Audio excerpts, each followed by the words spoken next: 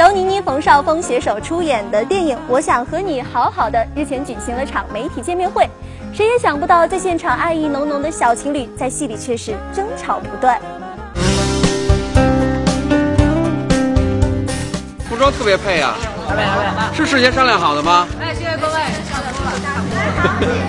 巧合，巧合，缘分。要是真如两人所说，缘分搭出了他们的情侣装扮，那么倪妮、冯绍峰之间的默契度真是要羡煞不少情侣。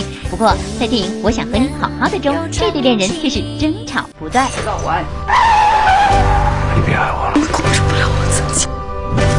你他妈就是神经病！他刚刚说他这个戏是被虐，那我可能就是虐他的那个人。其实虐得很痛苦，因为自己不是真的想虐他，因为其实我在虐他的时候也是在虐我自己。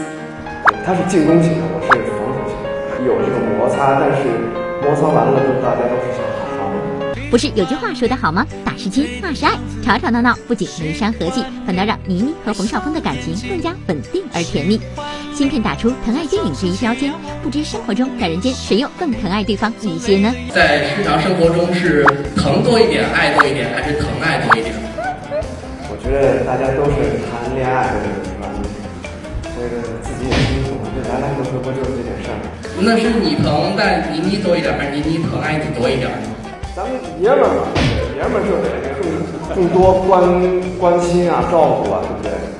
爷们儿冯绍峰的霸气，不知道在生活中如何体现。但是面对比自己小十岁的女朋友倪妮时，冯绍峰完全没有了大男人作风，反而甘心做起了最听话的小男人。